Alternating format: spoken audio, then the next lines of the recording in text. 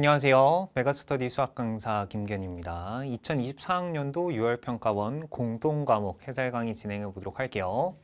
일단은 오늘 우리가 시험 보고 오느라 너무나도 고생 많으셨고요. 이 시험에 관련한 여러 가지 이야기는 우리 총평에서 같이 이야기하는 걸로 하고요. 이번 강의에서는 공통과목 4점짜리 전문항 쭉 풀어보면서 우리가 어떤 생각들을 조금 했었어야 했는지 그리고 어떤 부분에서 막혔는데 어떻게 뚫어가야 되는지 그런 부분들을 같이 한번 공부해 보도록 할 겁니다.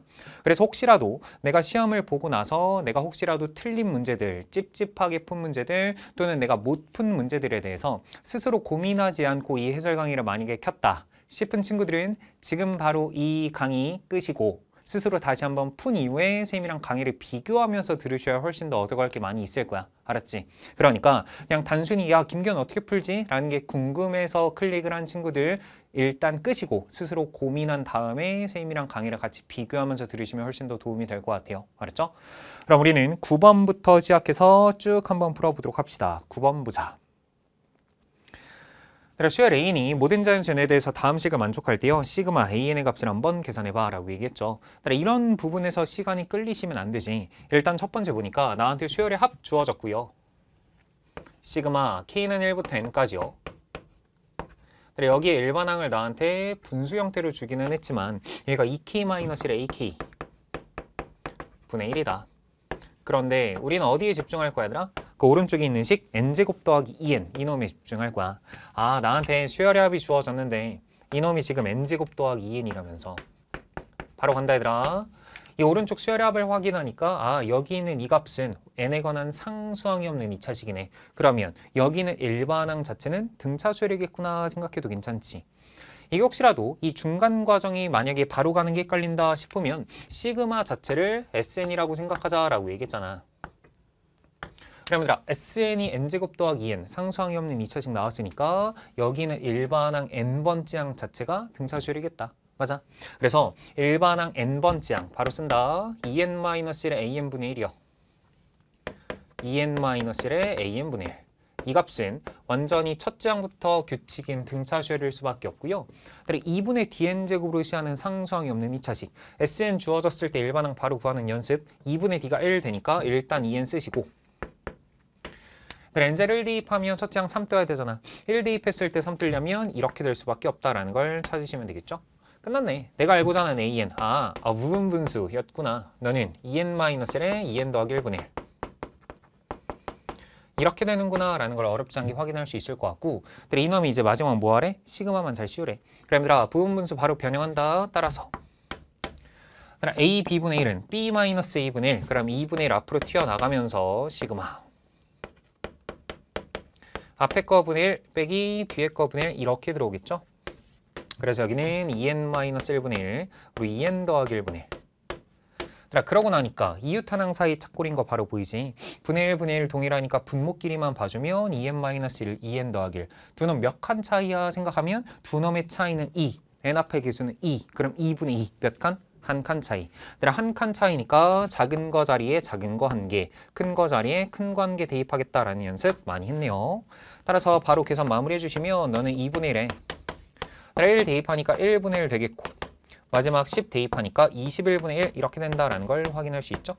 그럼 얘들아 21분의 20 이런 약분치니까 답은 21분의 10 된다라는 걸 확인할 수 있는 문제. 절대로 시간 끌리시면 안 돼. 바로 풀어낼 수 있으셔야 된다. 알았죠? 그래서 객관식 보기의 답은 1번 된다 생각하시면 되고요. 혹시라도 내가 이런 부분 바로바로 바로 계산하는 거 익숙하지 않다 싶으면 꼭 아이디어 수열의 합 부분 다시 한번 공부하자. 알았죠? 그럼 바로 넘어가서 10번 갈게요. 네, 양수키에 대해서 함수 fx는 다음과 같이 3차 함수로 주어졌어요. y는 fx와 x축이 1.5 그리고 pq에서 만나는 상황 그리고 그 아래에 주어진 것처럼 영역 a와 b에 대해서 a의 넓이에서 b의 넓이를 뺀 게 3이다. 그랬을 때 k 값을 한번 계산해봐 라고 주는 거죠. 그러면 문제에서 주어진 그 3차 함수를 생각해 보면 그림이 주어져 있고 이미 얘들아 fx라는 식도 주어져 있는 거 아니야? 그래서 그림이 지금 이러한 상황인 거죠. 그럼 만나는 절편이 0, 2, 3 바로 보일 것 같은데 0, 2, 3이다. 그때랑 A의 넓이에서 B의 넓이를 빼라면서 그런데 A는 지금 여기 있고요. B는 지금 여기 있어요. 기본적으로 우리가 알고 있는 거 정적분이라는 게 부호가 있는 넓이 아니야? 그런데 너는 위에 있고 너는 아래 있네. 그러면 혹시라도 바로 보인다 싶으면 실전에서는 바로 가져가는 거야. 얘들아 A의 넓이에서 B의 넓이를 뺀다. 라는 것은 쌤 당연하게도 fx라는 함수를 그냥 0부터 3까지 적분해버리면 끝이겠네요 라는 게 보이면 가장 베스트 그래서 실전에서 바로 보인다면 0부터 3까지 그냥 fx dx가 답이 되겠고 그 값을 얼마다? 3이다 라고 주는 것 뿐이에요 이거 계산하면 당연히 되겠지 괜찮을까? 그런데 혹시라도 쌤 이게 어떻게 바로 가는 거죠? 라는 생각을 혹시라도 할 수도 있기는 한데 만약에 그렇다면 참고 얘들아 A의 넓이 계산 어떻게 할래? 생각하면 A의 넓이는 0부터 2까지 얘들아 얘는 X축보다 위에 있으니까 그대로 fx를 적분하시면 되는 거잖아 마이너스 얘들아 B의 넓이 어떻게 구할래? 생각하면 B의 넓이는요 얘들아 2부터 3까지 fx를 적분하면 정적분이 나오기는 하는데 X축 아랫부분을 적분하니까 넓이가 부호 반대인 거잖아 맞아? 그러니까 여기는 B의 넓이다 라는 건 굳이 쓰자면 인테그랄 2부터 3까지 f를 적분해서 마이너스를 붙여주면 되는 거 아니야. 괜찮아? 얘들아, 얘가 넓이고 얘가 넓이야. 그런데 두 놈을 빼시래. 어? 두 놈을 빼라고 했는데 마이너스 마이너스 플러스 된다라고 생각해주면 그러고 나니까 f라는 함수를 0부터 2까지 그 2가 연결고리가 돼서 3까지. 그러므로 이놈의 정체가 뭐구나?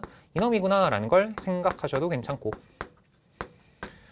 가장 좋은 건 베스트 바로 가져가는 거. 그래서 0부터 3까지 그냥 한 번에 적분해 버리면 너는 위에 있고 너는 아래에 있으니까 걔가 A 넓이에서 B의 넓이를 뺀 거겠구나 생각하시면 될것 같고요. 혹시라도 조금 헷갈린다 싶으면 이 과정을 거치셔도 안 될 건 없다라는 거. 그럼 이제 무슨 문제로 바뀌었어요? 계산 문제로 바뀐 거죠. 그래서 우리는 fx라는 함수를 적분만 잘 해주시면 될 것 같고요. 0부터 3까지.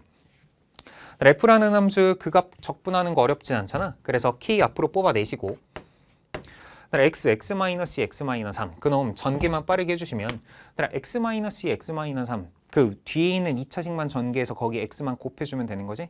그러면 첫 번째 x 세제곱 그리고 마이너스 5x 제곱 그리고 6x 이렇게 된다 확인해도 괜찮을 것 같아. 그래서 이놈만 우리가 잘 적분을 해주시면 될 것 같고요. 계산은 다 마무리 해주시면 됩니다. 알았죠? 그래서 이 값으로 계산하면 얘가 4분의 9K가 나오게 될 거야 그런데 그 값을 문제에서 얼마로 줬다? 3이라고 줬다. 그러므로 양변 계산해주면 K값은 3분의 4가 된다 확인할 수 있겠죠. 이렇게. 그래서 문제에서 K값 구하라고 했으니까 객관식 보기로 답은 2번 되겠다는 거. 그래서 의미 파악만 잘 한번 해주시면 좋을 것 같고요. 기본적으로 우리가 알고 있는 정적분이다 라는 건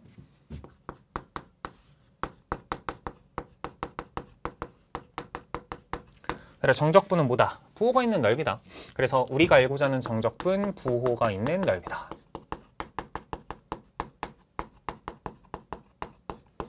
정도의 의미 파악만 하신다면 어렵지 않게 풀어낼 수 있는 문제라는 거. 그렇죠.